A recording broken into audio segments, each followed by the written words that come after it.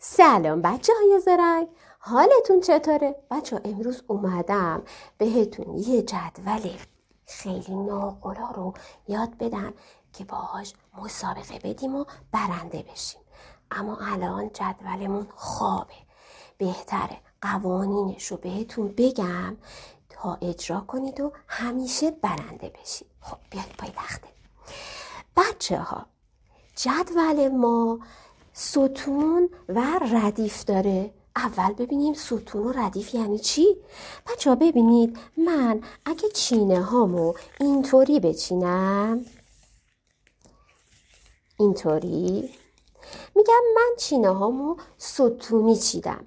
ستون یعنی از بالا به پایین یا از پایین به بالا؟ توی جدول.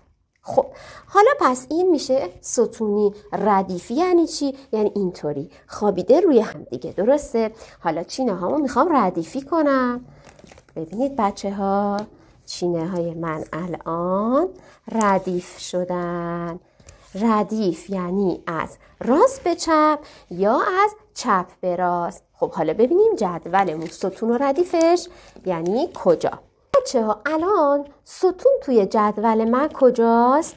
گفتیم از بالا به پایین یا از پایین به بالا میشه ستون. الان این دورش خط بکشم ببینی میشه یک ستون. خب جدول من چند تا ستون داره؟ یک دو سه. جدول من ردیف هم داره. گفتیم ردیف یعنی از راست به چپ یا از چپ به راست. خب جدول من بچه ها چند تا ردیف داره؟ یک ردیف دو ردیف سه ردیف. جدول ما به ما میگه اگه می‌خوای با من بازی کنی قوانین رو باید رعایت کنی وگرنه بازنده میشی. قانونش اینه که توی ستون یا توی ردیف رنگ تکراری. شکل تکراری.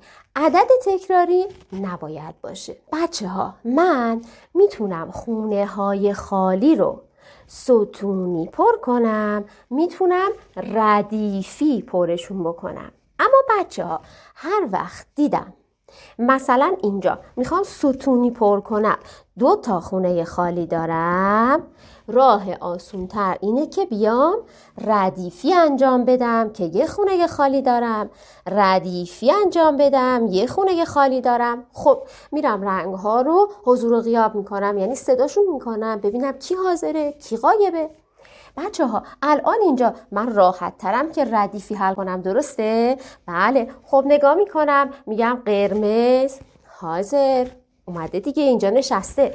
سبز حاضر. کدوم رنگی تو جدول ما هست که اینجا توی این خونه نداریمش؟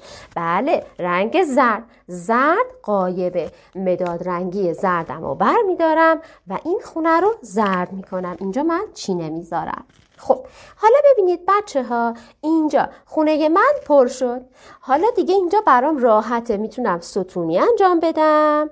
می‌تونم ردیفی انجام بدم چون یه خونه خالی دارم. خب حالا می‌خوایم این دفعه ستونی بریم. توی این ستون بچه ها یعنی از بالا به پایین یا از پایین به بالا حاضر قیاب کنیم. رنگا رو زرد حاضر قرمز حاضر. کی به اینجا نیومده بشینه سر جاش که تو جدول هست. آفرین سبز.